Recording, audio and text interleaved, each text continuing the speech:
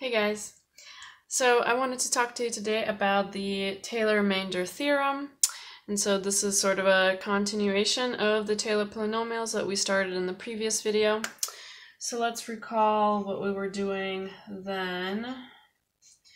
So Taylor polynomials are approximations to functions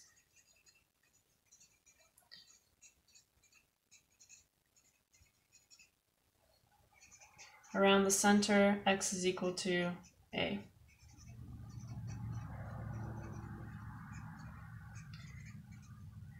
Approximations to functions around the center x is equal to a. And because they are approximations, they must have error. And so the Taylor-Remainder theorem gives me a bound on that error, just as we did with the alternating series. So here, took the liberty of writing this down beforehand because it's a lot of writing. But the Taylor remainder is stating the following. We let n be a fixed positive integer, and so n is the degree of my Taylor polynomial. And then I let there be a number, positive number m, such that it bounds my n plus 1 derivative of the function f at c for all c between a and x inclusive. So I have this interval that's between a and x, or x and a, depending on which one is greater. And in that interval, I will have an n plus 1 derivative, and I just need to find the maximum value of that derivative, or the minimum value, right? So we have our absolute values here going on, and my derivative is bounded by this capital M, which is a constant.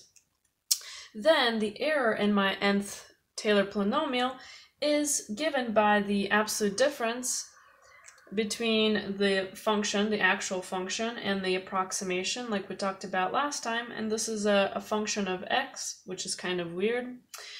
But there is an inequality and the error is bounded by that constant m multiplied by the absolute distance between the point of evaluation x and a, the center of approximation, all to the n plus 1th power, and all over n plus 1 factorial, right? So we have a couple of dependencies here. We have a dependency on x, we have a dependency on n, and it's all um, it's all pretty confusing.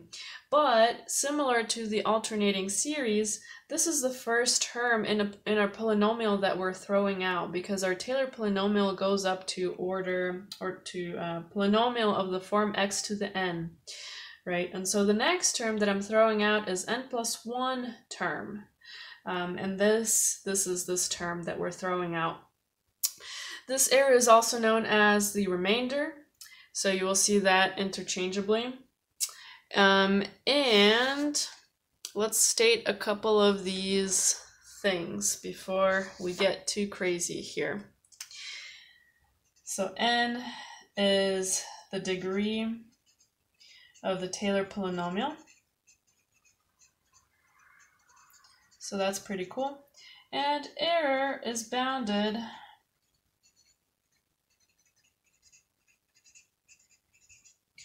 by the next term in the polynomial that we throw out.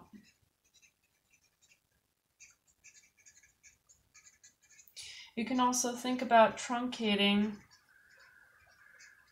the Taylor series and the first term that we throw out, that is going to be the bound on my error.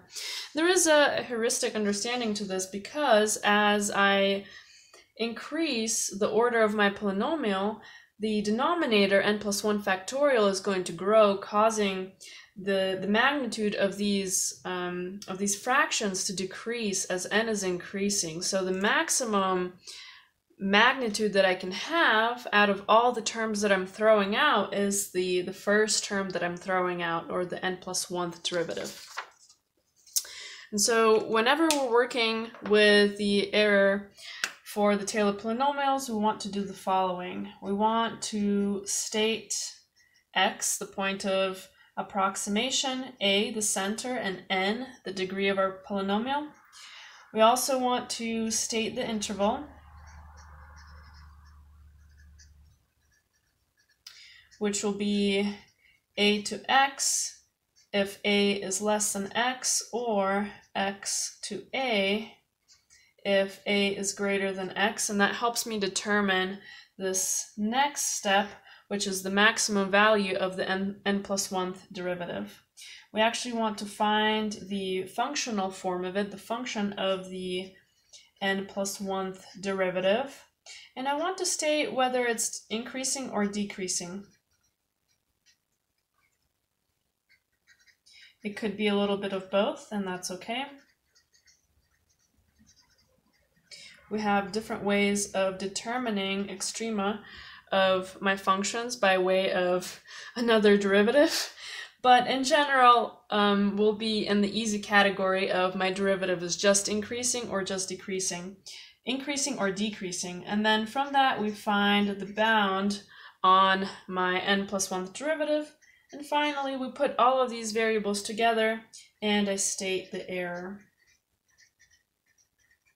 Because going back to my inequality, I already know what x is, I know what a is, I know what n plus 1 is, and I, I found my constant m that is a bound on the n plus 1 derivative, so I'm good to go with the with inequality and I can bound my error. So with that in mind, let's talk a little bit about how to make my error smaller, right? Because that is the purpose of most approximations. We can't quite use them if the error is too big. So what does the error depend on?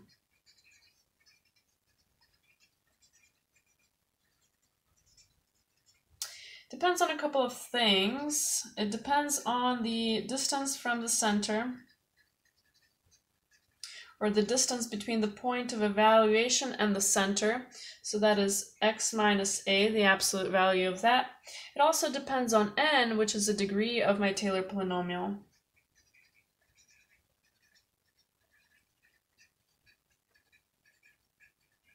So this gives me a strategy for manipulating the error so that I can have a small error. And the smallest error will come from me having a small interval or a small difference between x and a, so I'm close enough to the center. And the reason for that is because if my x minus a is small, my numerator is small, which makes my fraction smaller. Another way I can have a small error is to have a large n, a large degree of Taylor polynomial. And when that happens, my n plus 1 factorial in the bottom is going to be larger, making my whole error smaller. So this is a pretty handy way of evaluating error. Now let's do an example. So this one, it's a lot to write. It's a big statement, so that's why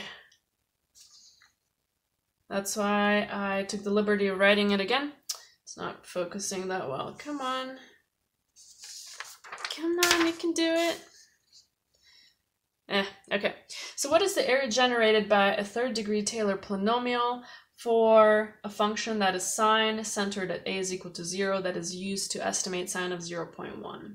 So that's a lot of information. I just have to put all of these bits and pieces together. So we found um, the Taylor series or a bunch of different Taylor polynomials for sine in the previous class, so we can just recall that. So we recall that the third Taylor polynomial for sine is x minus x cubed over 6. We remember that because sine is, a, is an odd function, it only has odd odd polynomials inside of the inside of the series.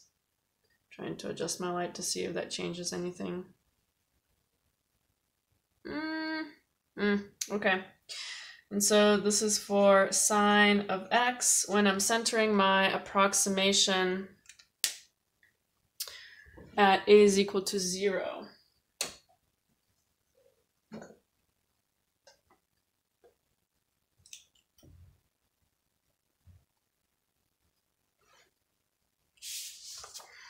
Can't quite tell if it's better or not. Maybe it's okay. Well, that's better. That fixed it. All right. So the first thing is that we state x, a, and n. So x is where I'm trying to evaluate my approximation. So I notice my function is sine of x, and I'm trying to estimate sine of 0.1. So x is going to be 0.1.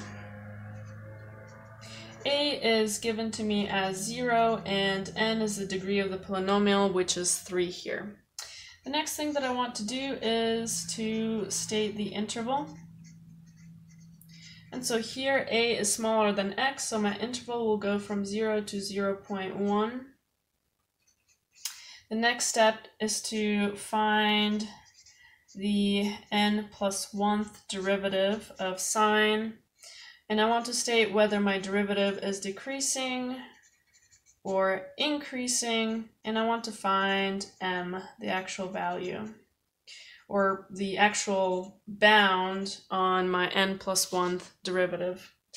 So the fourth derivative of sine is when my cycle comes back around, and so the fourth derivative of sine is sine. And this is super helpful because now I know my interval. I'm going from 0 to 0 0.1. And on that interval, my sine is increasing. So I can say that my fourth derivative of sine, which is sine, is going to be less than or equal to sine of 0 0.1. But I also know that sine, or cosine for that matter, is bounded by, uh, by plus or minus 1. So I can also say that this is going to be less than or equal to, thinking about the fourth derivative, um, than 1. Right, so here m is 1. And the reason why I chose that is a couple of reasons. First of all, 1 is much nicer to deal with than sine of 0.1. The other reason is we're trying to estimate the error in the approximation for sine of 0.1, so I don't know exactly what sine of 0.1 is. Um, so it's a little kind of circular, but it kind of makes sense, right? And the last step that we want to do is to state the error. So here my error is going to be less than e or equal to capital M, the bound on my n plus 1th derivative, times the absolute value of the difference between the point of evaluation and the center to the n plus 1 power over n plus 1 factorial, right? So I know each of these variables, m is 1, x is going to be 0 0.1 and a is 0, all to the n plus 1 power, and n is going to be 3, so the power is 4, all over 4 factorial. And so once I simplify this a little bit, I have 0 0.1 to the fourth power, and then I have 4 times 3 times 2 times 1, which is 24, I believe. So this is the maximum error in my approximation. And what kind of statement can I make now? I know that sine of 0 0.1 is approximated by the third Taylor polynomial. So I plug in 0.1 into my third Taylor polynomial and I get 0.1 minus 0.1 quantity cubed over 6. And this is the actual value of the approximation and how do I know if it's close to my actual value, I look at the error, so I know that the um, number is going to be within 0.1 to the fourth power over 24 of the actual value. We just have to remember that we're dealing with absolute error, so we're not talking about percentages. And I can plug these into my calculator and figure out the values if I want to do that, which I'm a little bit lazy right now.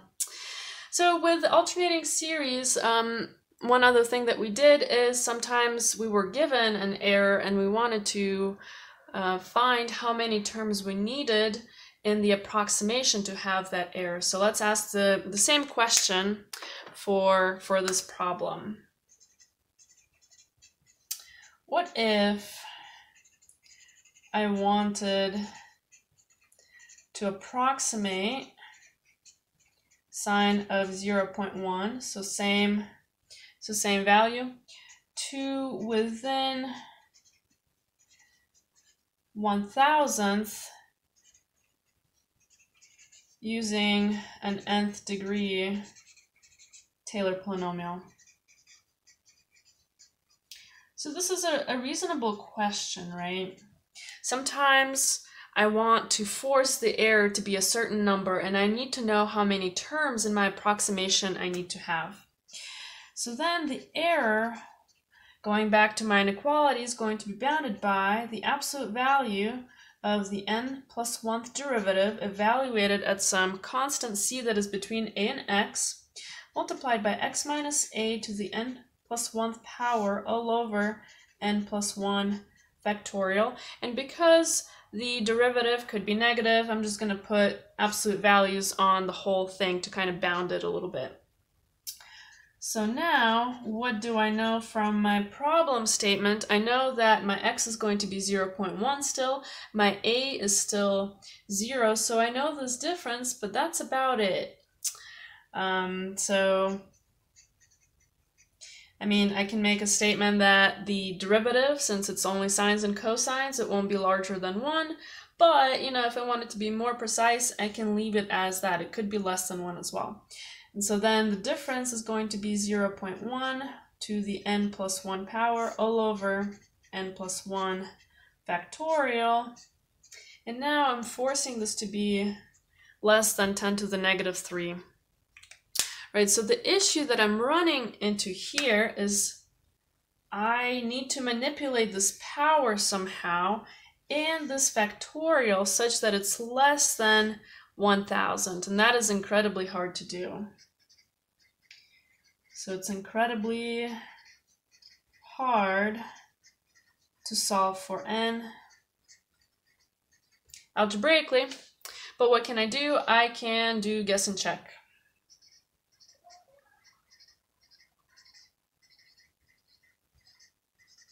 So I do have a couple of options. And because n plus 1 decays um, as a factorial decays really quickly, hopefully I won't have that many terms. Okay, so I want to do another quick problem and then I think we will be good to go. This one, I forgot to write it out, so I'll take the time. What is the error generated by a third degree Taylor polynomial for the function natural log of 1 plus x. So now we have an interesting function centered at a is equal to 0 that is used to evaluate natural log of 2.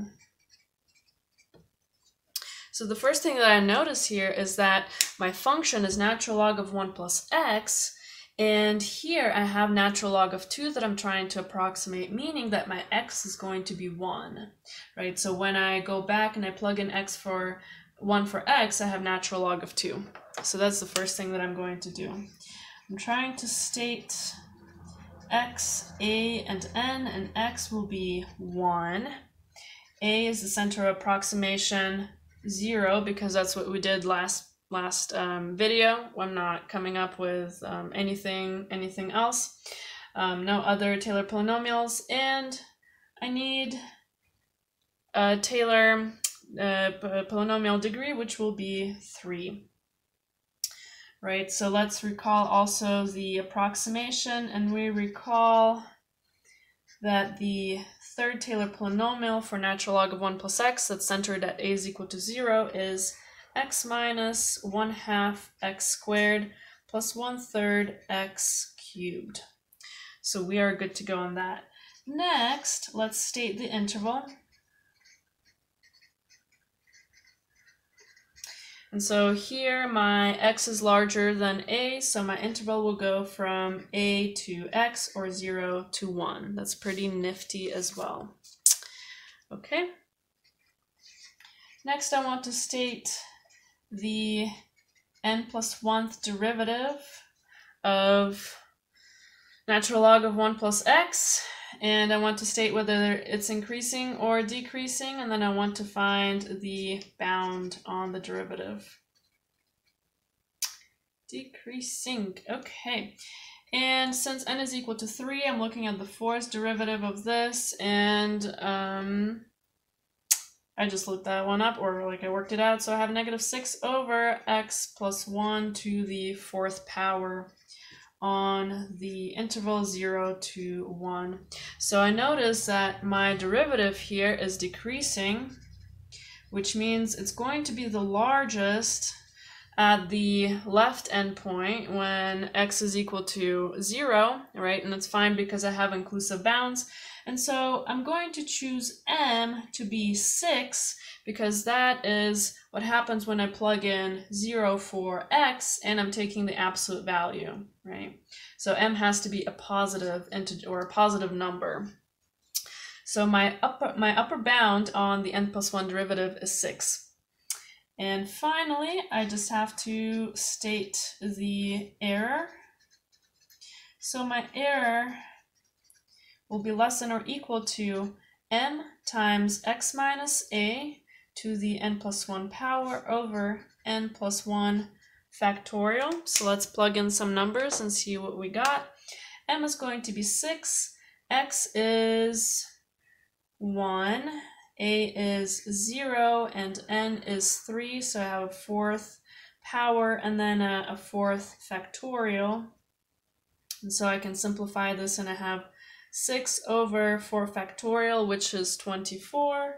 And so this simplifies to 1 over 4, right? So this is the max error that I can have in my estimation of the natural log of 2 when I'm using a third degree Taylor polynomial.